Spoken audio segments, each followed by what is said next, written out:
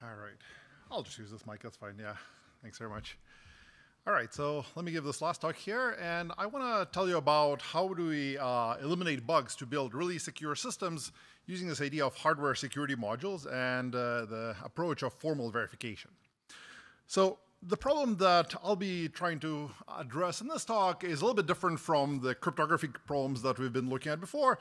And In particular, I want to understand how do we build secure computers that actually compute the stuff, that actually implement the math that is going to give us some nice security properties. And where security often fails these days is that we have very complicated systems. So you have millions of lines of code on your computers, phones, servers, etc. And that means that you also have thousands of bugs to go along with that large amount of code. And uh, as we've learned, these bugs can be found by adversaries and exploited to do all kinds of damage to our computers, from stealing data, installing malware or keyloggers, impersonating us, and so on. So a powerful idea for dealing with this huge complexity of software on our computers is to use this idea of hardware security modules, or HSMs for short. And the idea is to factor out the key security operations that you care about on your computer system and run them on a separate device.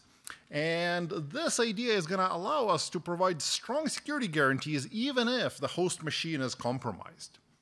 So the diagram you see on the right here is a typical example you've probably encountered using one of these uh, you know, USB security keys that you plug into your computer the USB security key on the right has a secret key that it can use in, as part of some cryptographic protocol to authenticate you to a server over the internet. And it's plugged into your computer, but the computer doesn't have access to the key directly. All the computer can do is ask this little device to please sign my login request on behalf of the user. So the computer can do something as you, but worst case, it'll never get your signing key. If you unplug your key, that's it. You've taken the key with you.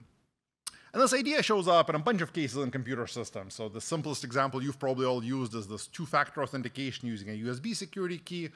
The same idea shows up in your smartphone, where iPhones and Android phones have a separate chip inside of them called a security enclave that manages the unlocking your, of your device, so that even if uh, there's bugs in the Android operating system itself, they will not lead to your iPhone being unlocked without supplying the right PIN code. So this HSM is the essence of our security, and we'd like to figure out how to actually make it so, because the security of our entire computer system is now anchored in this one little device.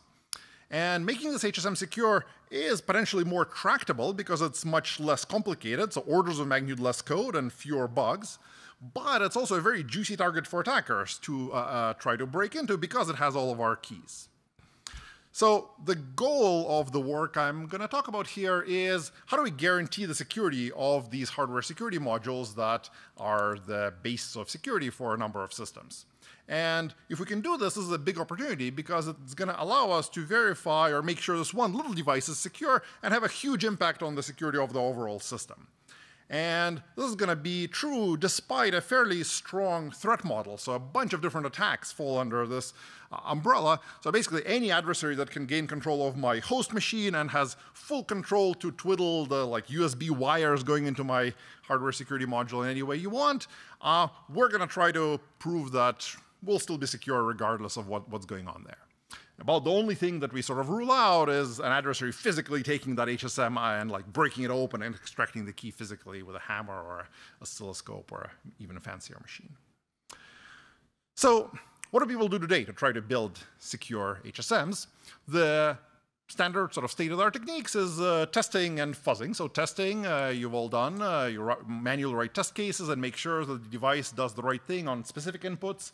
And fuzzing is sort of an extended version of that, where you use some automated uh, random input generation to test whether the system behaves correctly for all kinds of random inputs. And these have been very fruitful techniques. So many real systems use them and they find bugs, but they're not complete in the sense that they can't guarantee that there's no more bugs to be found. And in fact, you typically run a fuzzer forever and it keeps finding more and more bugs, maybe slowly decaying the rate. And uh, what we see is that as a result, adversaries keep finding bugs in real hardware security modules. And they range from bugs in hardware, where the CPU implementation itself might be slightly incorrect that leads to a security problem, to all kinds of software issues that come up, sort of mundane buffer overflows, logic errors, etc. And even subtle issues that uh, we talk about called timing channels. And these are particularly subtle and tricky to get right in the context of these hardware security modules that I've uh, been talking about. And let me just give you an example to illustrate what I mean by a timing channel. So here we have some code on the left that you might imagine running inside of one of these HSMs that checks a password. And it has the reference password, that's the right one, and a guess that you supply. And it checks whether it's correct by checking whether every byte of the password is right in a loop. And this is a problematic implementation because this allows the adversary to very quickly guess the password by guessing one byte at a time. And the insight that allows this is that if an adversary can try all the passwords that start with A, B, C, D, and so on, at one of them, the execution of this check password function will take slightly longer because the for loop goes on to the next byte. And if the adversary observes that, ah, ah, that input took slightly more cycles, then it knows, oh, well, that byte was right. Let me move on and guess the next byte now. And this turns what should have been an attack that requires 26 to the n guesses for an English alphabet password to a 26 times n uh, input attack. And these timing attacks are real and quite important in this HSM setting where we assume that my USB security key is directly plugged into this compromised computer. The compromised computer can very precisely measure the timing of how many cycles exactly it takes this device to respond. And at the same time, this stuff is extremely tricky to reason about. This is not something that typically we worry about when writing software. And even the underlying hardware makes it hard because even the multiply instruction, that's sort of the basis of you know, quite a bit of stuff you would write, uh, takes different number of cycles. So if you multiply by 0 and 1 on modern CPUs, that is very fast. If you multiply by 23, that is much slower, noticeably so. Uh, how do you write sort of secure software in this setting? Yeah?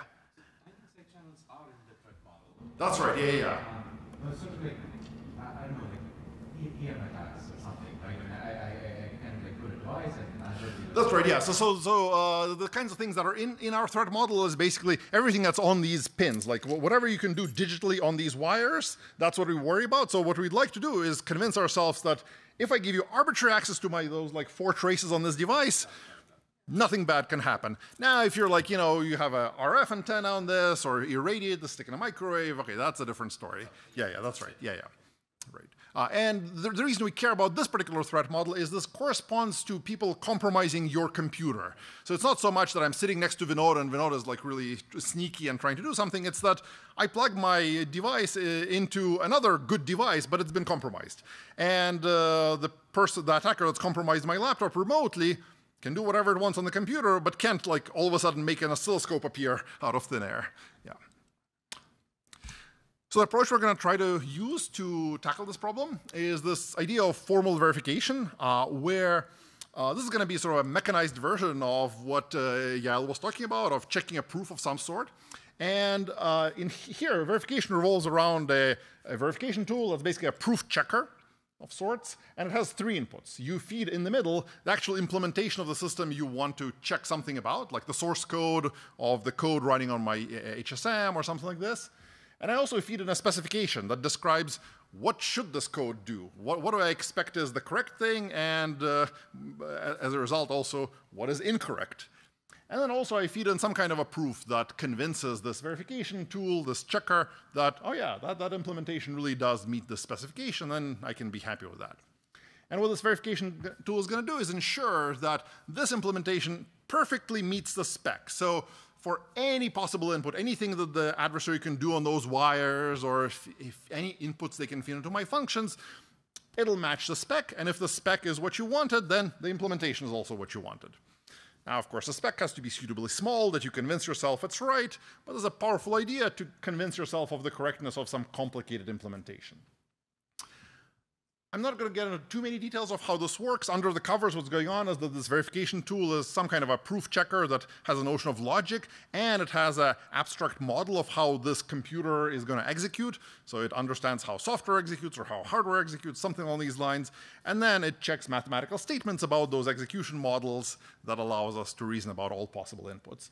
This is a very active area of research now, and there are some initial success stories that you'll hear about in the next session, which is going to have quite a bit of talks focused on verification.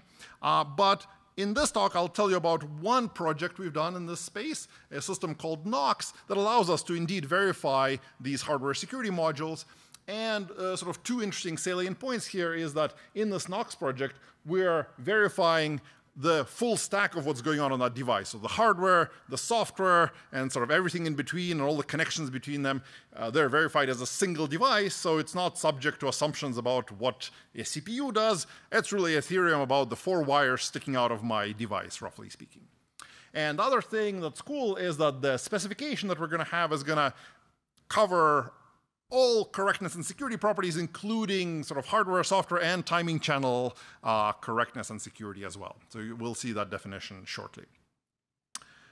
So in the rest of the talk, I'll mostly spend my time describing to you what it means to define security in this setting even. So it turns out that even defining what does it mean for an implementation to meet a specification of this kind and provide security is a little bit tricky.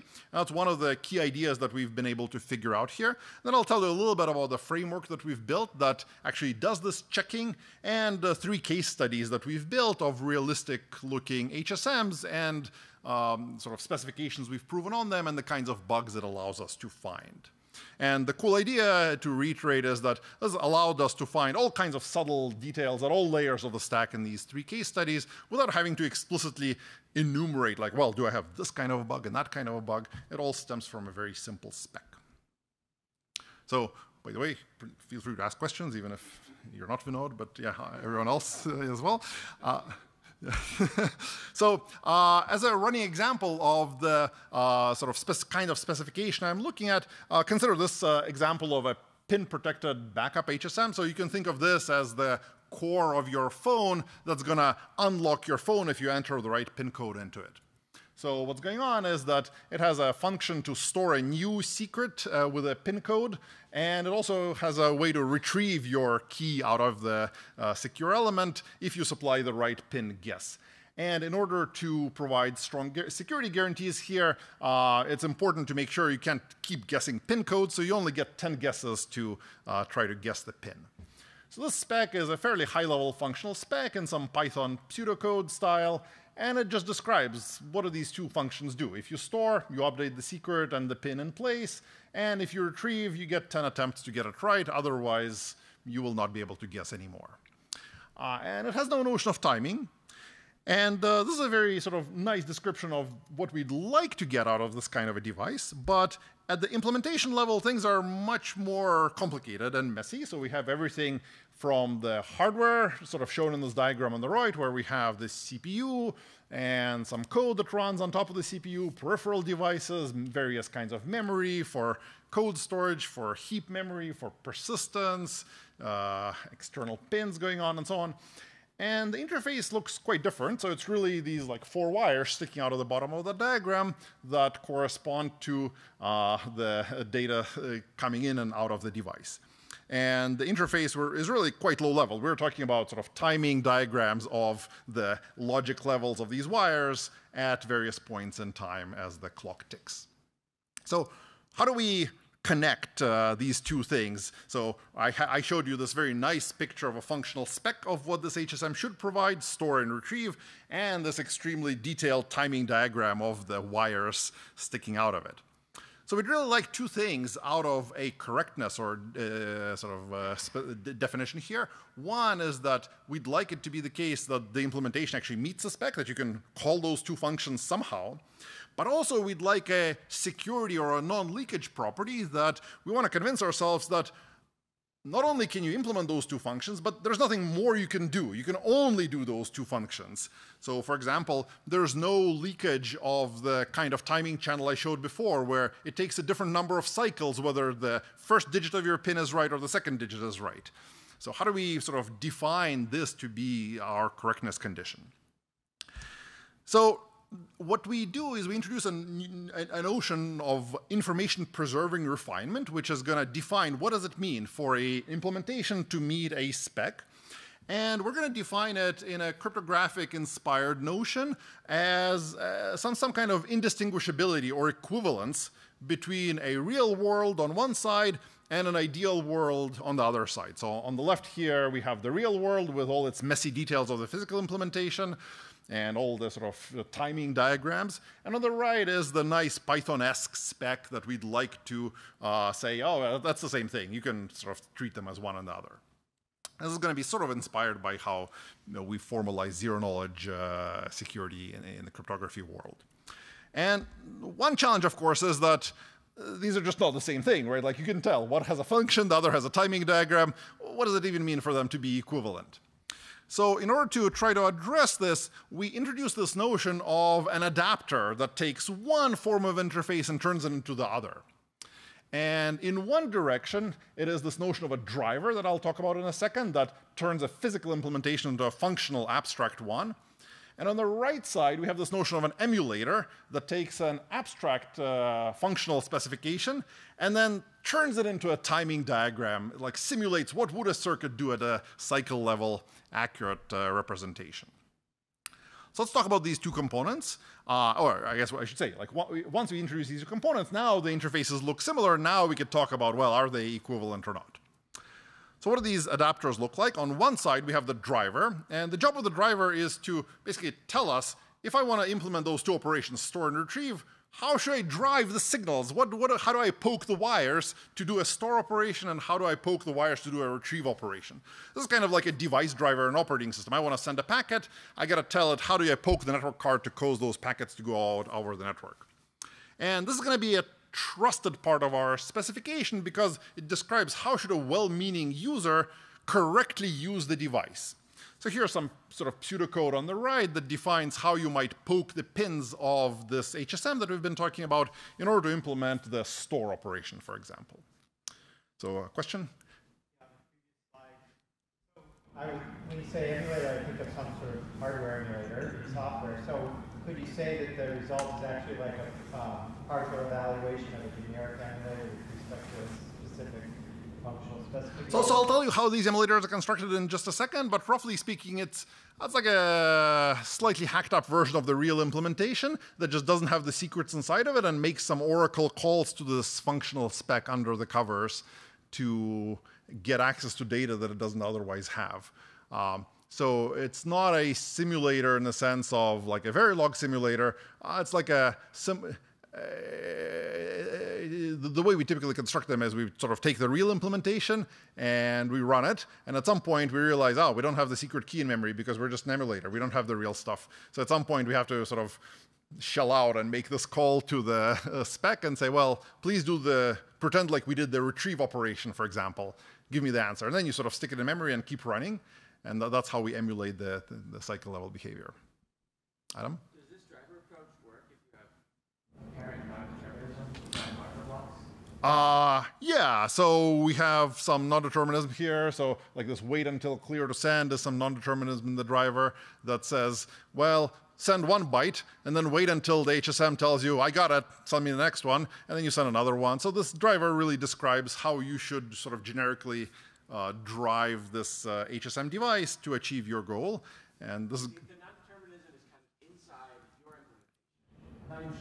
Yeah, so this driver is uh, meant to be sort of half a model almost of, uh, it should describe all the drivers that are valid. So it should have the most, not, it should be a superset of the driver that you'll en end up implementing concretely. It might have some non-determinism that you have to have because that's part of the protocol. It might also have some non-determinism that is an implementer's choice, like the Linux driver will do one thing, the macOS driver will do something else. All right, so that's one kind of a translator, uh, uh, translating the wire level thing and providing an abstract function spec on top of it. The, yeah.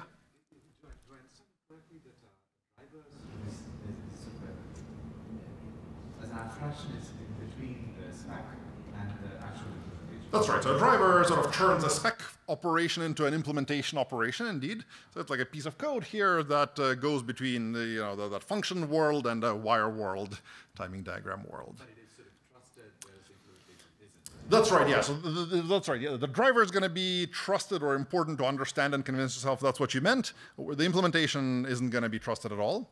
And this emulator is going to be another kind of a transformer that's not going to be trusted at all. It's just the only thing that matters is that it exists. So the job of the emulator is to go the other way. So if you have a black box that has those two function calls that are just abstract things, I want to reconstruct what should the timing diagram have looked like Except the simulator doesn't have access to your secrets. It's a sort of a purely functional emulator, and its job is to sort of synthesize, well, you know, on clock cycle 5, this line will go high, then on clock cycle 1 million, this will go low, and, and so on.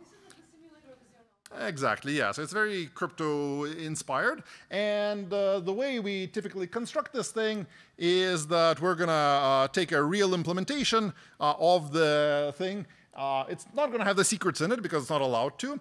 But then we'll sort of introduce a breakpoint and say, oh, well, at cycle 1 million and 55, stop, call the functional spec, get the answer, and put it in this register. And then you can continue running. And that's uh, there to convince ourselves, or like as part of the proof to convince anyone, that yes, it's possible to reconstruct perfectly the timing sequence just by having access to the functional interface. And that is an argument that all the information derivable in terms of the low-level timing is accessible from the functional API. So for example, if our implementation of this pin uh, HSM had some timing difference where like in the top diagram you did a retrieve with all zeros, it had one timing diagram, in the bottom you did a retrieve with a different incorrect pin, guess one, two, three, four, five. Well, there would be no way to construct an emulator that could reproduce this timing difference because as far as interface is concerned, all you could do is call retrieve, and in both cases you'll get the answer saying, no, that's the wrong guess. So there will be no way for the emulator to match this buggy timing diagram. And as a result, the fact that an emulator doesn't exist tells you that, yeah, this is not actually secure. And as I mentioned a couple of times already, yeah, the, the, way we construct this is basically just a copy of the real circuit with strategically placed calls to this ideal specification. So why is this definition cool? Yeah, let me take a question first, yeah.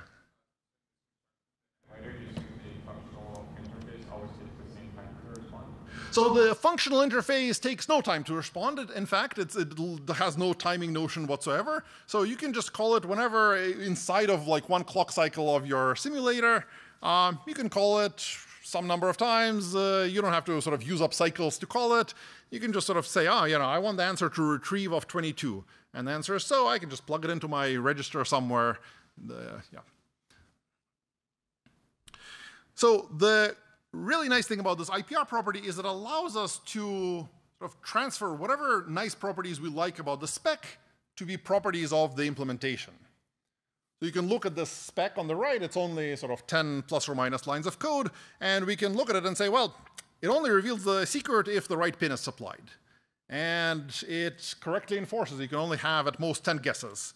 And if you store a new secret, it'll really forget the old one, and all kinds of good stuff. And all these properties that are true about these 10 lines of code are going to be now true about those thousands lines of hardware and software and all this messy stuff, including timing channels and, and so on.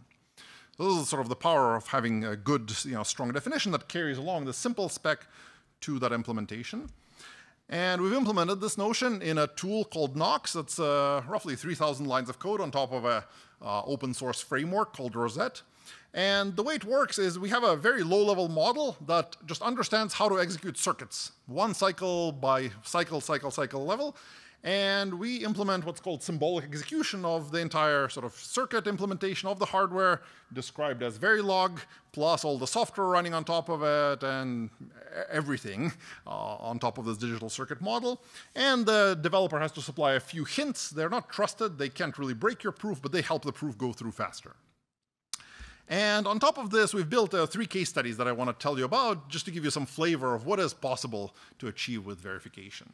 So the case studies we've built are realistic enough in the sense that they run on top of a RISC-V CPU that we got off the shelf from GitHub. Um, uh, they have cryptographic accelerators in them, devices, and so on. So there's thousands of lines of hardware description in these HSMs uh, that we've built. There's um, some control logic written in C and assembly, device drivers, cryptographic code, etc. And the really cool thing is the specs are pretty short. So the specs are tens of lines of code, uh, despite the fact that the implementation is much more complicated. And the proof on the right-hand side is uh, manageable, not, not, not gigantic at least. So what are these case studies? Let me tell you about the first one. The first one is a fairly simple thing. Uh, it's a HSM that hashes your password with some secret that's only stored inside the HSM. The reason this is useful is if, if you have a server that's storing lots of people's passwords, you might want to hash your passwords in a way that an attacker cannot invert them easily, and having this uh, HSM that stores a secret inside of it turns out to be really helpful. And the cool thing is the spec here is five lines. Very simple, plus some boilerplate for defining what a hash function even is. Uh, so it's a very simple spec. You can convince yourself it's right. And when we did the proof, we found actually quite a surprising set of bugs in both the hardware and the software. One example was that when we did the proof, we realized that some registers were uninitialized. So when you first powered off the HSM, uh, depending on what state it was in randomly, you might be executing some random command that you weren't expecting. Uh, so that's a bug you might not find every time because it's somewhat random depending on how your uninitialized value shows up at power up time. There was also some timing differences uh, based on how we stored the secret in flash or in persistent memory. So depending on where we stored it, if you sort of stored a, a bunch of previous secrets before, it might take a different number of cycles. So that, we had to fix that to make the definition go through. So this really shows that like a five-line spec forces all these subtle details to be fixed. Another example is a time-based one-time password implementation or TOTP. These are the kinds of things that you have on your phone that generate six-digit, you know, two-factor authentication codes. And the spec, again, is extremely simple, 10 lines of code plus some you know, boilerplate for defining a hash function. And we found a pretty subtle uh, bug where when we were storing secrets to flash or persistent storage, we did it in the wrong order. So if we crashed at just the wrong cycle, you could unintentionally reveal the contents of some previous secret that you were storing in flash that you shouldn't have been. And we had some timing differences where we were supposed to reveal the six-digit code that is sort of in the spec, but we did it with a modulo operator. And that turned out to be variable time depending on what other bits are present in the value. So we actually had to implement a constant time modulo implementation to precisely meet the spec. Uh, yeah.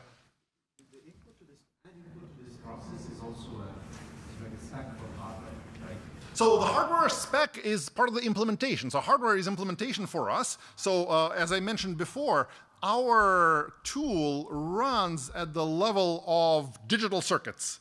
So that's the implementation language. It's gates. And software isn't even a first order thing in our model. Software just happens to be the initial contents of your read-only memory when the circuit starts running. So for us, the thing we worry about is things that are circuits. And then we prove that this circuit, including the implementation of that hardware. So when I, on this slide, was talking about the hardware, this is like the 3,000 lines of hardware code. That's an implementation of a RISC-V CPU. And then we treat that as the implementation for which we prove this theorem. Uh,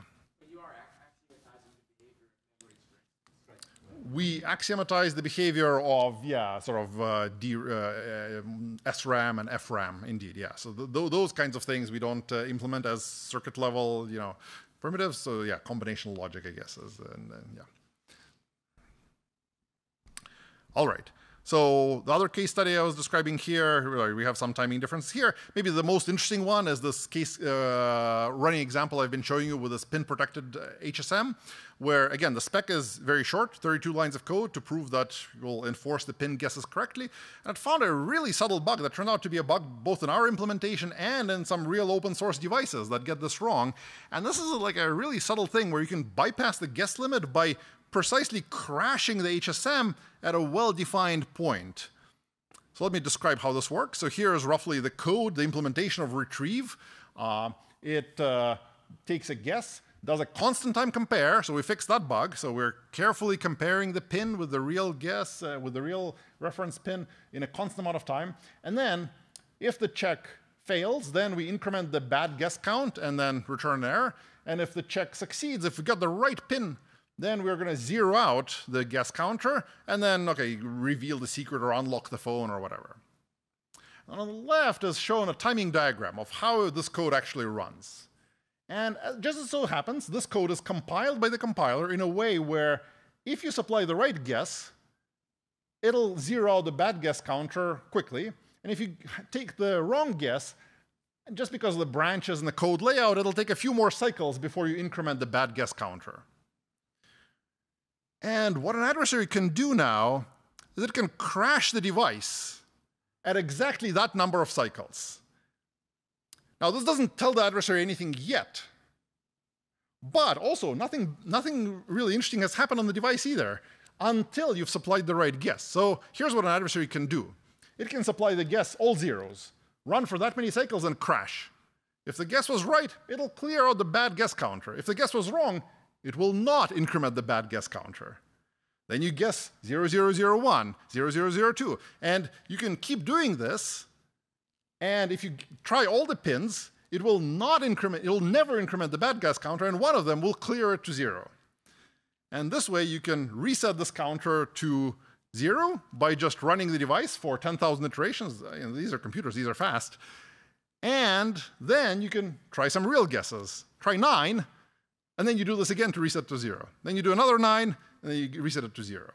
Extremely subtle stuff. We were surprised. We were debugging this ourselves, like, why isn't the proof going through? Turns out this is a really subtle issue. And uh, this shows up in real code. So the solo key is a pretty popular open source implementation of this stuff. Has exactly the same code pattern where they uh, have a timing difference between zeroing this out and incrementing the bad guess counter.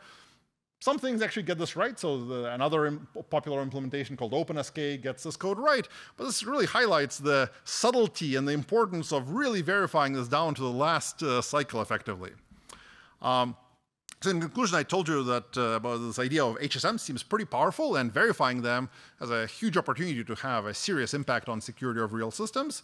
And the sort of one contribution we had here is in defining this notion of information preserving refinement that allows us to connect this cycle level implementation to a much higher level uh, functional spec and say what does it mean for the two of them to reveal the equivalent information. And I showed you a couple of case studies that we've done showing that this seems to actually work pretty well for a variety of HSMs that you might care about in practice. And we have some ongoing research I'm happy to talk to you about afterwards during lunch break on how to make this easier to apply to new software so that a developer of an HSM doesn't have to be a hardware verification expert quite as much. Thanks very much.